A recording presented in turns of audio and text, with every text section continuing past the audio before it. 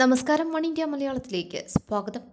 ബുധനാഴ്ച വരെ സംസ്ഥാനത്ത് ഒറ്റപ്പെട്ടയിടങ്ങളിൽ ഇടിമിന്നലോട് കൂടിയ മഴയ്ക്കും ശക്തമായ കാറ്റിനും സാധ്യത. ബുധനാഴ്ച വയനാട് മലപ്പുറം ജില്ലകളിൽ യെല്ലോ അലർട്ട് പ്രഖ്യാപിച്ചു.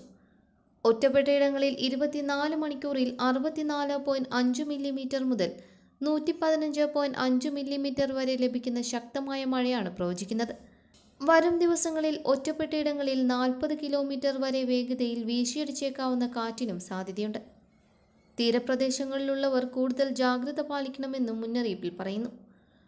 കൊല്ലം മുതൽ കാസർഗോഡ് വരെ തീരപ്രദേശങ്ങളിൽ ഉയർന്ന തിരമാലകൾക്കും സാധ്യതയുണ്ട്. ബുധനാഴ്ച വരെ ജാഗ്രത പാലിക്കണമെന്നാണ് മുന്നറിയിപ്പിൽ പറയുന്നത്. ഉച്ചയ്ക്ക് രണ്ട് മണി മുതൽ രാത്രി പത്ത് മണി വരെയുള്ള സമയത്ത് ഇടിമിന്നലിന് സാധ്യത കൂടുതലാണ്. ഇടിമിന്നൽ അപകടകാരികളാണ്. അവ മനുഷ്യന്റെയും മൃഗങ്ങളുടെയും ജീവനും വൈദ്യുതിയുമായി ബന്ധിപ്പിച്ചിട്ടുള്ള വീട്ടുപകരണങ്ങൾക്കും വലിയ നാശനഷ്ടം സൃഷ്ടിക്കുന്നുണ്ട്. ഇടിമിന്നലിന്റെ ആദ്യ ലക്ഷണം കണ്ടുകഴിഞ്ഞാൽ ഉടൻ തന്നെ സുരക്ഷിതമായ കെട്ടിടത്തിനുള്ളിലേക്ക് മാറുക. തുറസായ സ്ഥലങ്ങളിൽ തുടരുന്നത് ഇടിമിന്നലേൽക്കാനുള്ള സാധ്യത വർദ്ധിപ്പിക്കും. ഇടിമിന്നലുള്ള സമയത്ത് ജനലും വാതിലും അടച്ചിടുക.